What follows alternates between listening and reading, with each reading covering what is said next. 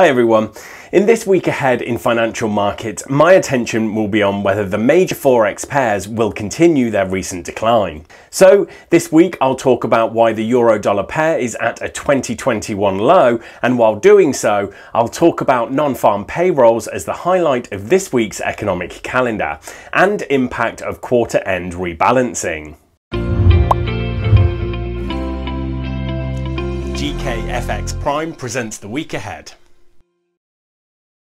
First up, we've got the euro dollar chart. So, do you remember five weeks ago I asked if rising bond yields would send the euro dollar under 1.20? Well, the answer was a resounding yes. Looking at the weekly chart, we can see the pullback has gone beyond the previous high from August.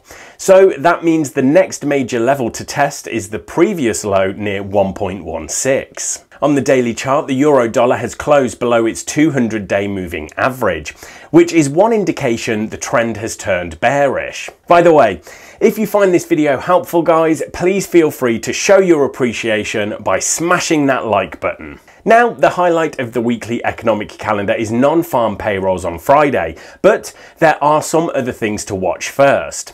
CPI data from Germany and Europe could have a short-term effect on the euro dollar, but the ECB just agreed to do lots more bond buying over the next three months, so inflation isn't going to affect policy near term. As far as NFP goes, we're expecting a rise to 500,000 jobs created in March, up from 379,000 in February. Now keep in mind when trading the dollar, that good data is inflationary. That pushes up bond yields and helps the dollar, but is also good for global growth, so the dollar will be less in demand as a haven. I think it's worth talking about the Europe side of things first.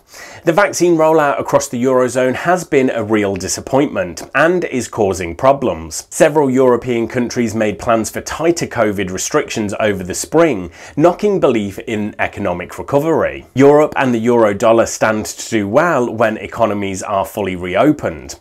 The dollar will do well and the euro dollar will likely do worse if it looks like Europe won't have enough people vaccinated to allow travel during summer holidays. From the US perspective, the just passed US stimulus bill is a major boon and means expectations for growth in the US are much higher relative to Europe. All last week, Federal Reserve officials talked about how interest rates in the US won't go up soon, but markets still think they will go up sooner than in Europe, so the dollar is rising. I think something I'll be talking about more in the coming weeks is whether rising taxes in the US will negatively affect the dollar. But shorter term, something to look out for this week is month and quarter end rebalancing. Basically, it's the end of the quarter and that means hedge funds and mutual funds will need to sell some of what's done well and buy some of what's cheaper. A lot of them have a fixed bond to stock ratio that they are supposed to keep, which means because bonds have fallen a lot in the last quarter, there may be a need to rebalance their portfolios by buying more bonds and selling stocks. So if a big sell-off in equity markets were to occur, that is probably bullish for the dollar and bearish for the euro dollar pair. Right, thanks everyone, good luck trading this week and make sure to subscribe so you don't miss the next episode of the week ahead.